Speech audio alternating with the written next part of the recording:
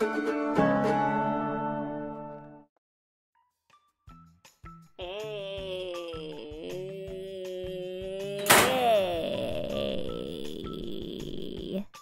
What do you want, Clyde?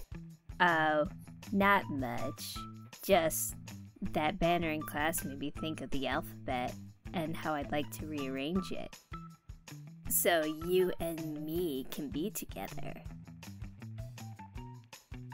Me isn't a letter. Neither is Stan. It's the motherfucking Eagle Double G. Snoop Dogg.